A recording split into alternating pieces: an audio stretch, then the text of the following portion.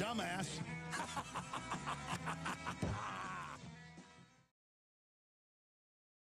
And I and I believe that uh, that there's this agenda uh, in mainstream media, and I think it's fairly easy to back this up, to keep people stupid, docile, and apathetic, and therefore the elite who own these corporations and the families that own the corporations, even fewer people, their agenda is to keep us stupid and apathetic. That's why I love public access. And again, thanks for having me on. Go back to bed, America. Your government is in control again. Or I could admire someone who's a better comic than I am. Look at my furrows of worry. Look at my big bank account and my family. This is, has to be real. Or I could admire someone who's a better comic than I am. State power will always win. We'll paint you as a child molester and we'll paint you as a methamphetamine manufacturer. We'll say any lie we want over our propaganda machine, the mainstream media, and we'll burn you and your children in your f***ing home. So you just be apathetic, America. You stay docile, and don't you ever forget, you're free to do what we tell you. This video will provide irrefutable and immutable proof that Bill Hicks was recruited by the CIA to become the controlled opposition of the mainstream media. Bill Hicks assumed the identity of Alex Jones as he was continuously fed approved intelligence by his CIA handlers in order to create a truth movement of false hope. The information that Agent Hicks was given was for the sole purpose of directing and leading an awakening public to only the partial truths of what the one world government is really up to.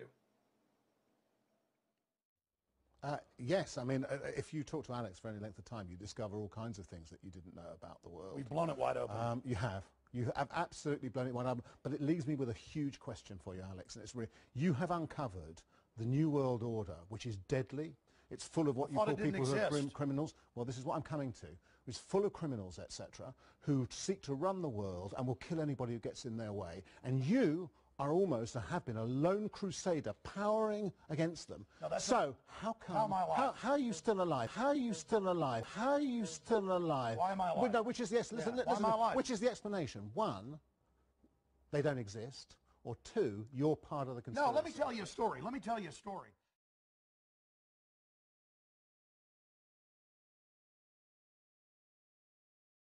price than we imagine. In fact, that's how I pitched it to the networks, exactly. I said, uh, I'd like to do a show where I rid the world of all these fevered egos that are tainting our collective unconscious. And the guy at CBS said, will there be And uh, I said, sure, I don't know, sure. Boom, a check falls in my lap, and uh, I'm a producer. I never knew it was that easy. All these years I've been trying to write scripts and characters and plots and stories that had meaning. Will there be? Sure. Boom. I'm at. I'm at. I'm at. Boom. I'm at. I'm a producer now. Where have you been all our life, boy? We've been looking for you in Hollywood.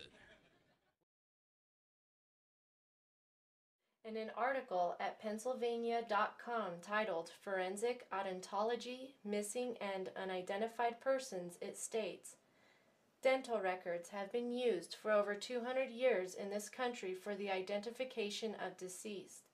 The teeth are uniquely qualified for identification in many ways, but especially since they are virtually impossible to destroy.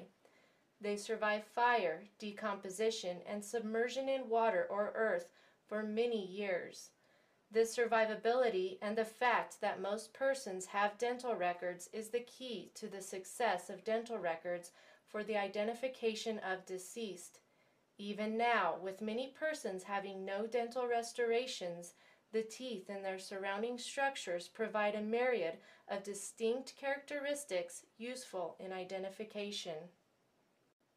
For the next images, we will be paying special attention to the distinct characteristics of the two top central incisors, the bottom right cuspid, and the bottom right lateral incisor as seen in this diagram.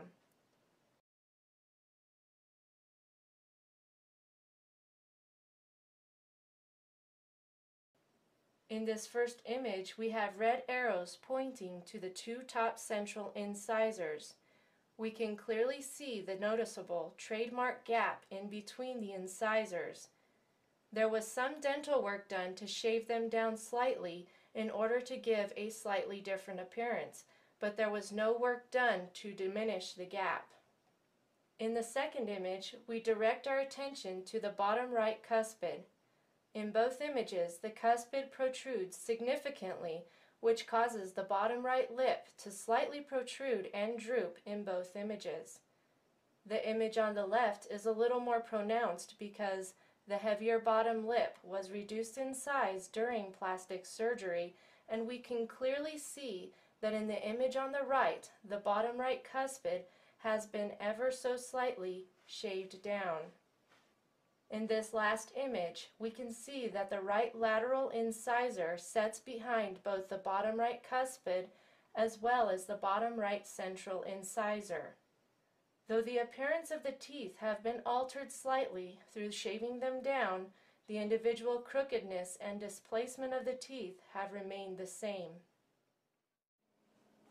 Next, let's take a look at some other irrefutable forensic evidence into the true identity of Alex Jones. Bill Hicks had many moles, but the most defined mole that he had was below his jaw on the left side of his neck. In the image on the left, you can see where the large mole was located on Bill Hicks, and on the image on the right, you can clearly see a scar where that same mole had been removed.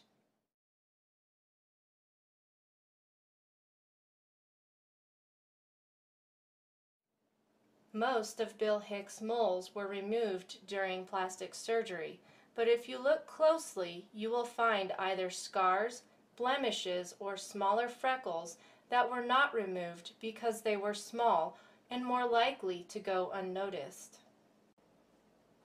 There is absolutely no doubt that Bill Hicks knowingly, intentionally, and willfully became a fraud and deceiver of the nations.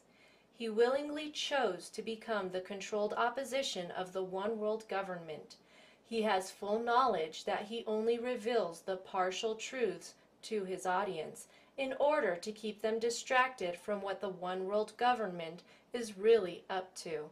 Their plans, their deceptions, and their crimes are fully revealed at testimonyofthetwowitnesses.com. But the forensic evidence does not end with just teeth, moles, marks, like mindsets, and actions. The most damaging evidence to prove that the Alex Jones you know today is not who he says he is. There was another Alex Jones. He was the Alex Jones who was replaced by Agent Bill Hicks. Pay very close attention to the video clips that you are about to watch. We're sick and tired of it. We, we stand for this country and we will defend it. The United Nations is a tyrannical, authoritarian propaganda arm and military arm of international control. Well, you know, I'm mad at myself. And I've said it before, because I do a half-assed job. People say I do a good job on my TV and radio show, and to tell you the truth, I don't. I, this is such a war, I should be devoted to this 12 hours a day. In my arms. Yeah, that's Alex Jones, baby. All right, we're talking about some serious issues today. We're talking about how they got us divided. It should not be front page news that Fuzzy Zoeller said something racist, even though he's an old, fat racist. Who cares about an old, fat racist that says something about an awesome man, Asian African American, who's worth probably $100 million? Who cares about words? We're Americans. We're all together in this boat. The man with the plan is here, Jeff Davis. What do you have to say? It's like you said, Alex, keep the small fish in turmoil so the big fish can rob and rule over. That's That's, it. That's the game plan. That's it. All of the images that you're about to see came from the videos that you have just viewed, all of which were created in 1997. The image on the left was taken from a video produced on April 24th, 1997. In it we see a man who appears to be in his mid-twenties. The image on the right was also taken from a video produced in 1997. In it, we see a man who appears to be much older, with a completely different nose, different colored hair, and not nearly as lean and physically fit as the individual on the left. His neck is much thicker, as in chubbier, and his overall skull structure appears noticeably different. It is important to note that the individual on the left has a much more prominent brow ridge and well-defined cheekbones. Again, we have a much younger and leaner individual on the left, and an older, thicker individual on the right. Looking at their necks, we see the individual on the left has well-defined neck muscles and a well-defined jawline. The individual on the right does not have well-defined neck muscles or jawline. Also, we have a much clearer image of the hairline, and the individual on the left actually appears to have a noticeably different hairline than the one on the right.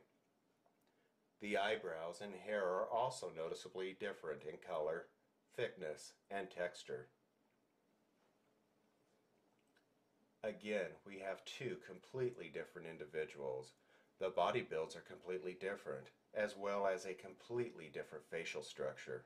The individual on the right has much darker hair, especially considering that the image was taken outside. The individual on the left is very lean and muscular, and the one on the right, while he may have some muscle build, he is far from lean. It is important to note that at this time, in 1997, Jones would have only been 23 years old. While Bill Hicks spent a lot of time practicing and imitating the person of Alex Jones, certain genetic features were missed during the plastic surgery. So what happened to the first Alex Jones? Was he taken out by the CIA and replaced by Agent Bill Hicks? Was he paid off to disappear and then be replaced by Agent Bill Hicks? Or was the first Alex Jones also a CIA agent, and for whatever reason he was unable to fulfill his current assignment, so he needed to be replaced? While it is unclear who the first Alex Jones really was or what happened to him, what is clear is that there was a replacement. A replacement who had begun his career as a comedian and is now an actor in a reality show of false hope he is a quite convincing actor whose true identity is William Melvin Hicks. Did you see that? Did everyone see that? It is important for the viewer of this video to know that Bill Hicks is 12 years older than what his character, Alex Jones, claims to be. That being said, let's play a little game. How old is that man?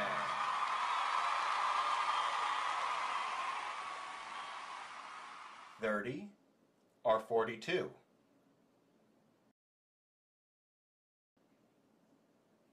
Thirty-two or forty-four? Thirty-five or forty-seven? Thirty-nine or fifty-one?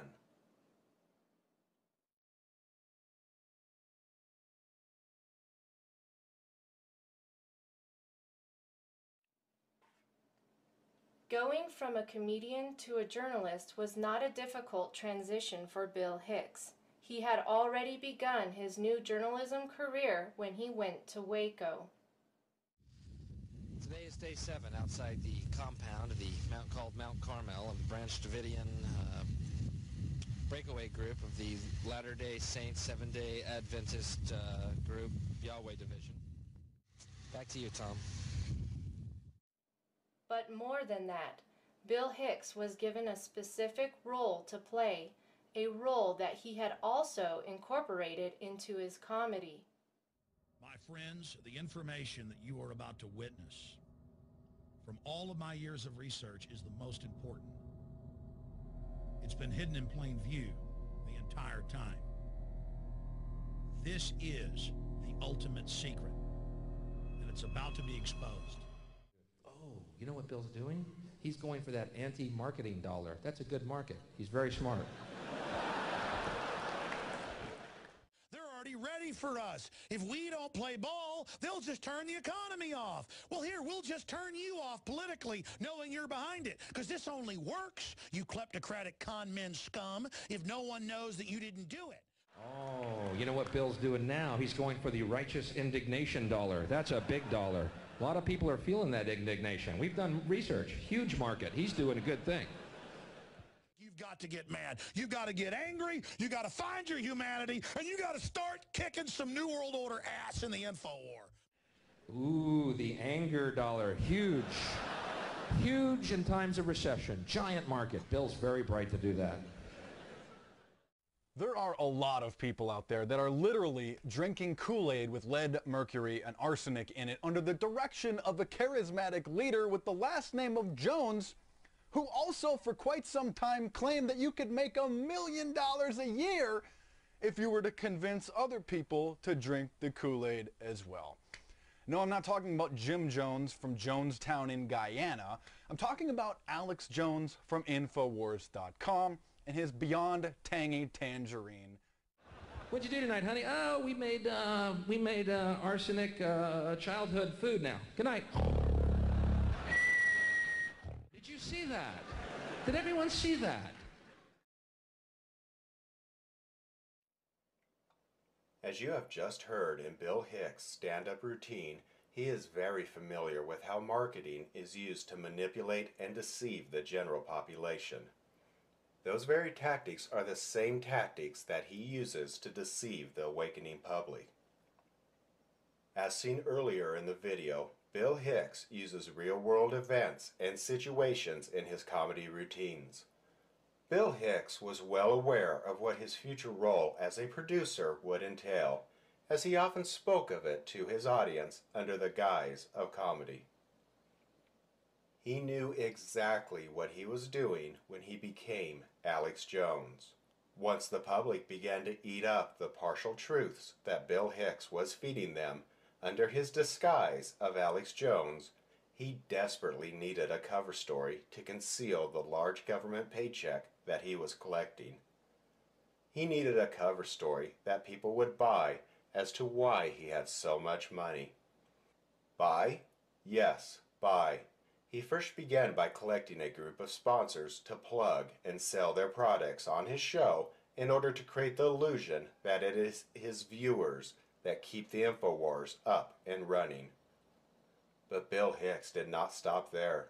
He rapidly began to produce his own line of products to sell, such as his Survival Shield Iodine, Super Male and Female Vitality, as well as a line of gimmicks such as belt buckles, t-shirts, and more. We are currently living in the worst recession in history. That being said, who has extra money to spend on such products? Hardly anyone who follows and listens to InfoWars has extra money to splurge on such products. And why is that? because the controlled opposition is specifically designed to target the lower middle class of the American population. It is this lower middle class of people who flock to InfoWars and eat up the partial truths as to how and why their government is keeping them in a state of poverty. Bill Hicks does a very good job at presenting the illusion that his products are rapidly selling but we those are almost sold out. One is nickel, silver nickel plated, pure bronze, made in the USA. Those are almost completely sold out. We've got some of the straight bronze ones left that I think are just as good. But we've got 500 of each of the new Molon Labe. And when they're gone, they're collectors. That's it. And these will sell out quickly. They're $45. He uses common marketing statements in order to make the viewer believe that there are only a few products left in stock and that he is really trying to get more. This, this, look, listen, we're going to keep selling the survival shield. It's excellent, the regular. Uh, and it's great for kids and things it's not as strong as this. And I got to be honest, folks, we can't even keep enough of this in. We have all heard similar statements, especially in regards to his snake oil products. InfoWars has rapidly become nothing more than a very long infomercial. The most telling way to determine whether or not somebody is controlled opposition is by listening to how the facts are presented. Some facts may only be partially presented, and then some are completely hidden. Often there are blatant lies presented to the unsuspecting public in order to create a specific reaction. The war in Chechnya is raging in Grozny with, well, reports of hundreds of thousands dying. Uh, 20 to 40,000 civilians trapped in the city. Russian Hinds are being shot down. Tanks are being blown to bits. Uh, massive uh, Grad unguided rocket attacks are being launched on the city indiscriminately right now. Air and artillery bombardments as well. Uh, it's absolutely out of control. It is pandemic, ladies and gentlemen. Um, I'll give you the news first on Y2K. The newest developments, a Pennsylvania nuclear plant has been shut down. Um, one of the main uh, systems transferring the power from it uh, failed, but they say it's not a Y2K problem. And the things I'm experiencing here in Austin, Texas, the shelves are empty of water and some gas stations are running out of fuel. But also, another way to discern a controlled opposition is when you see the person completely change their opinion, story, or recant a previous statement. In fact, it was one particular moment that encouraged us to take a closer look into Alex Jones, and it was then that we discovered who he really was. I want you to realize I'm not making this stuff up. Like I shouldn't even quasi joke around about Michelle being a tranny. That was wrong. And not that they even attack me for it. Uh, end justifies the means. I just get real cynical in a bad mood sometimes and make sick jokes out of things. But Bill Hicks was not joking. He was very serious and quite troubled by the revelation of Michelle Obama's true gender. It was obvious that he did not know the truth about this until he saw the video, irrefutable proof that Michelle Obama is a man.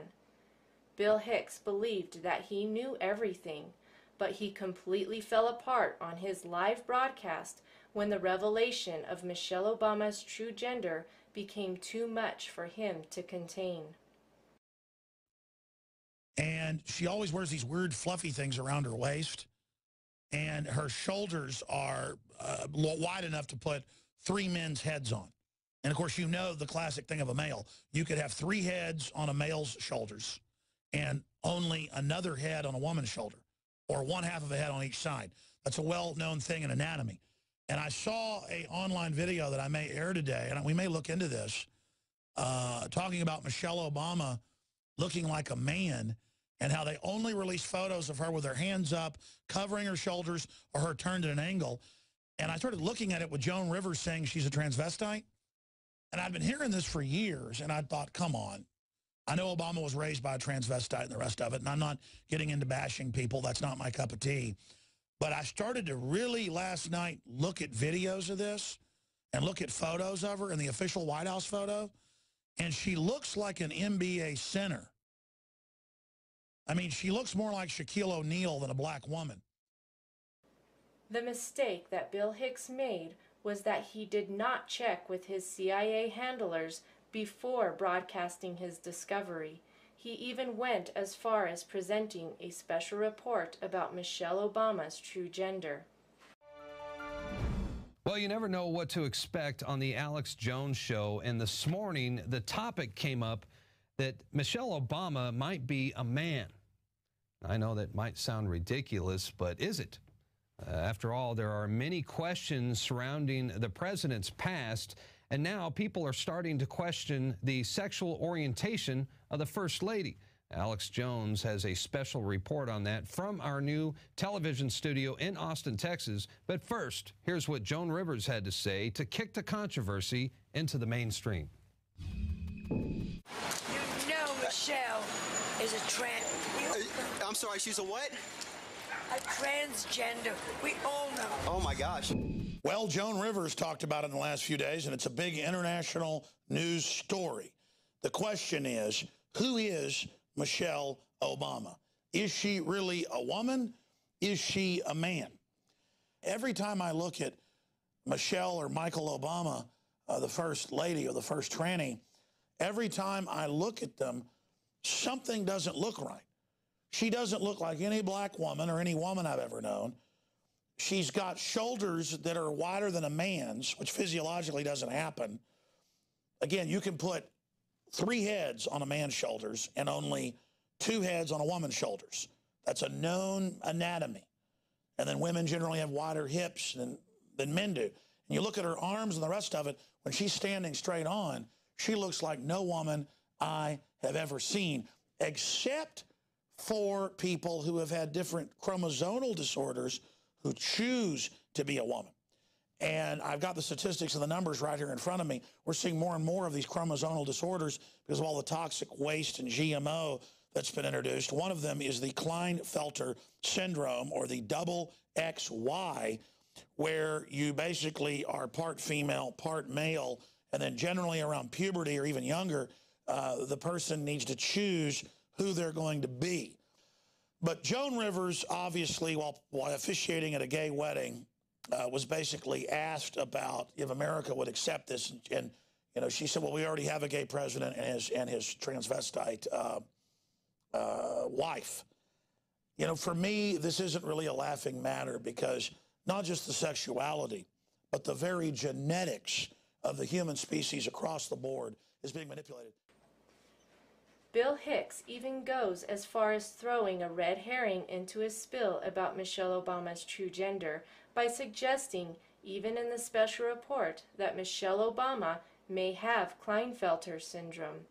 Unfortunately for Bill Hicks, his theory has failed him as Michelle Obama has no symptoms of this genetic disorder. But since Bill Hicks really isn't a true journalist, we are not surprised that he didn't do any research into Klinefelter syndrome. The treatment for Klinefelter syndrome is hormone therapy by increasing the amount of testosterone because it is testosterone that the man lacks, which causes a male to have more feminine features. It was certainly not Michelle Obama's feminine features that led to the production of irrefutable proof that Michelle Obama is a man. But even if he suggested that Michelle Obama had a female form of Klinefelter syndrome, which is called Turner syndrome, we would have found fallacies in that theory as well.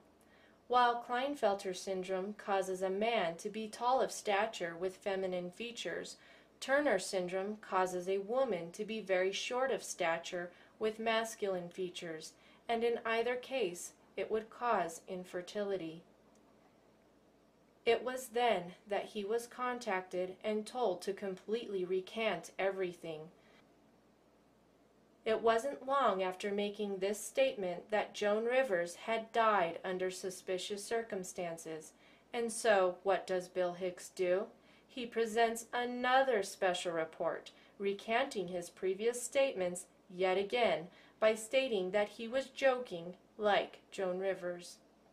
Some people are going to say that Joan Rivers was killed because she joked around a month ago saying that Obama was gay and that uh, Michelle Obama was a tranny.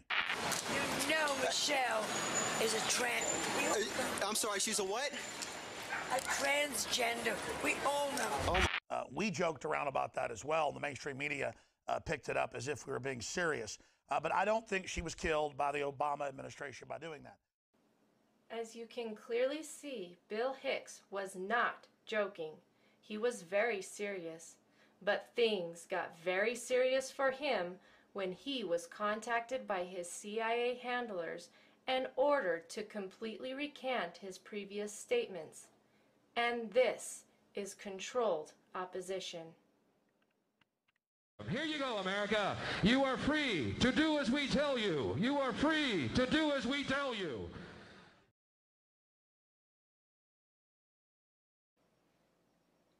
Bill Hicks was not just a great comedian.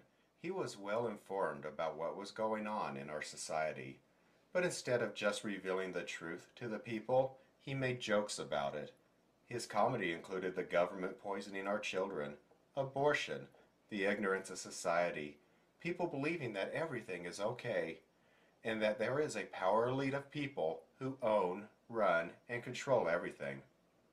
It is important to note that it is impossible for someone like Bill Hicks to fake their death without government involvement, as this would be necessary in order to falsify death records. This fact was the clue that led us to realize that there was a direct CIA involvement, as they must know that Bill Hicks assumed the identity of Alex Jones. Otherwise, they wouldn't be very intelligent, now would they? Apparently, Bill Hicks is not very careful with his words. It is the blatant lies, partial truths, and things that he refuses to speak about on InfoWars that have led many people to discover that he is not who he says he is. In our case, it was when he completely recanted his previous statements regarding Michelle Obama's true gender that encouraged us to take a closer look into the InfoWars deception. Every time I look at Michelle or Michael Obama, uh, the first lady or the first tranny, every time I look at them, something doesn't look right. She doesn't look like any black woman or any woman I've ever known. She's got shoulders that are wider than a man's, which physiologically doesn't happen. I want you to realize I'm not making this stuff up. I shouldn't even quasi joke around about Michelle being a tranny. That was wrong. And not that they even attack me for it. End justifies the means. I just get real cynical in a bad mood sometimes and make sick jokes out of things. Some people are going to say that Joan Rivers was killed because she joked around a month ago saying that Obama was gay and that uh, Michelle Obama was a tranny. You know Michelle is a tranny. Uh, I'm sorry, she's a what? A transgender. We all know. Uh, we joked around about that as well. The mainstream media uh, picked it up as if we were being serious. There are many people around the world who have caught on to the fact that InfoWars is a controlled opposition front for the One World government. The One World government's plans are in full swing and are rapidly moving forward. Through the mainstream media and controlled oppositions, they are working desperately to keep the public distracted as their plans are unfolding. And what they have planned for you, the viewer of this video, is laid out in its entirety at testimonyofthetwowitnesses.com. But you had better fasten your seatbelt because the truth can be quite surprising to hear. I am really Bill Hicks, yes. I am the son of Obama, Bill Hicks. Folks, I am I I, I am Bill Hicks. I am Bill Hicks. Come on.